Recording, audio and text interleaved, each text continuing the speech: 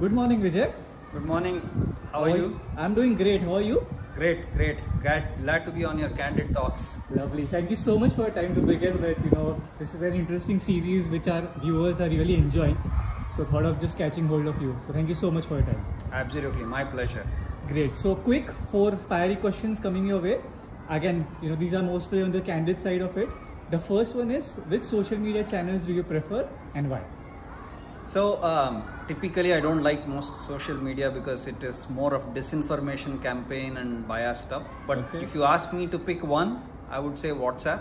Okay. It enables you to connect with your friends. It enables you to be in touch with your kids because you're probably going to get a response from your kids more on WhatsApp than in person. So Great. that's what I, I I think would be my favorite social media channel. Great. Thanks for that. The second one is uh, what book has had the biggest impact on your life and again why? Yeah, so look, there are so many books. I read a lot. I can't say one book, but if I were to take two or three, one obviously is the Bhagavad Gita, and I don't think I need to answer why. Uh, there are two other poems, uh, collection of poems that I read. One is uh, Gitanjali by Ravindranath Tagore, the English version. Yes. That's again a fantastic book. And I also read vernacular, basically Kannada, and Okay. there is a great book called Mankuthimmana Kagga. So those are the top three, I would say. And if you think about some of the Western world, uh, I like Yuval Noah Harari's Homo Deus and Homo Sapiens. Recently read a book called Biology of Belief. So I read a lot. So I can't go with one book. Wow. I think our viewers are really enjoying this, you know, list of books that you have mentioned. I'm surely will add to our, you know, list as well. Thanks for that.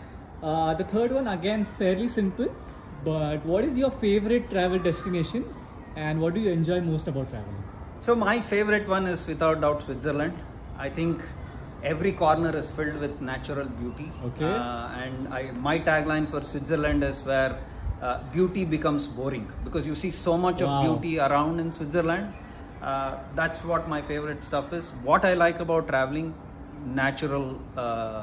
I mean, seeing nature, right? Be it uh, just forests, animals, waterfalls, and stuff like that. Okay. That is what I love, uh, like about traveling. Okay. And a quick follow-up question to that: Are you a beach person or a mountain person?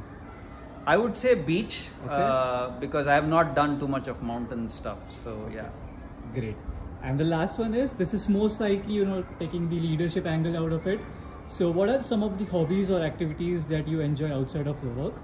And how do you balance your personal and professional commitments? So look, uh, hobbies, nothing great, but I read a lot. Yeah. Uh, I do work out. Okay. I work out a lot, uh, so I'm a little bit of a, a fanatic in that. So those are the two things, and of course I do listen to Indian classical music. Okay. Uh, in terms of balancing, it, it honestly got to be that you have to divide your time and then like do that stuff. The only thing that I do is try to help my family around during weekends and stuff like that because that way I think they get some leisure time as well. So Right. that's about me. Great. And and do you actually, you know, have a cutoff time on, you know, checking out on emails or because there's so much of things happening, No, right? you a- can't. I mean, look, as long as you divide and make sure that you provide attention, it's okay. I am not very rigid about saying after this time I will not cut off. The only thing is, I prefer not to have any meetings after Friday, uh, whatever, Friday evening, 8 o'clock. That's Okay, the only thing that I try to do. But otherwise, no. I'm not rigid. Okay. Thank you. Thank you so much, uh, Vijay, for this, and thank you for not being rigid and giving us your time.